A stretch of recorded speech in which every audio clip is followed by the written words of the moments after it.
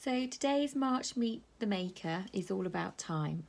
So I wanted to show you a quick firing in the kiln and um, most people um, who've never done enamelling before won't realise that when things go in the kiln they only go in for about a minute to a minute and a half each firing. So it's a really exciting process because quite quickly you'll see a complete transformation. So this little piece here has got a whole um, mixture of different opaque enamels on it um, that I'm going to pop in the kiln. So I'm going to just move this up here and you'll be able to see me pop it in. So I've got my safety specs on, my firing fork and I'm going to pop it into the kiln now. Okay, there we go. So it's in and um, I'm not a very good um, timekeeper but generally speaking things like this will be fine um, after about a minute. Um, sometimes you want to go in for a bit longer depending on what you're doing and if you've got particular decoration or particular techniques in mind that need um, a little bit longer. And other times you want to be really strict with that minute because you don't want to overcook something. Um, you don't want to lose definition on a stencil, for example, or you don't want some um, decoration to melt too far, spread too far.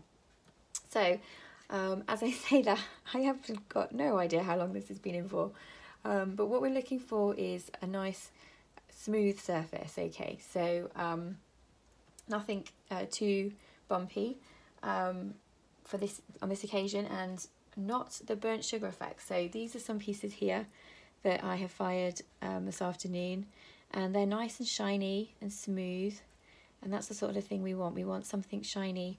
We don't want any burnt sugar.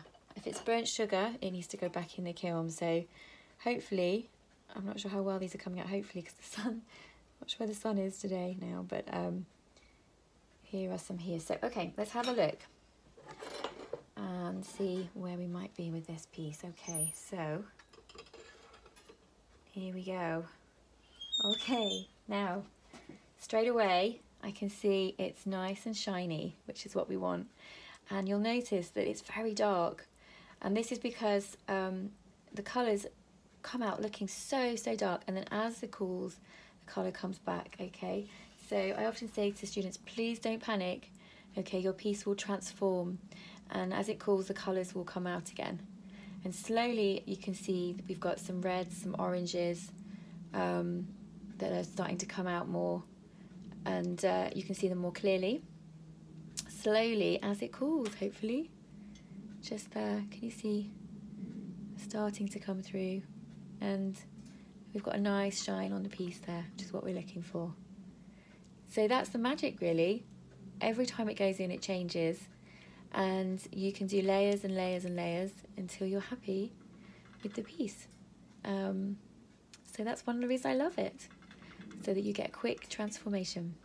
Right, I'm going to pop this piece down over here, out of the way. Okay, hope you found that interesting. Thanks, bye.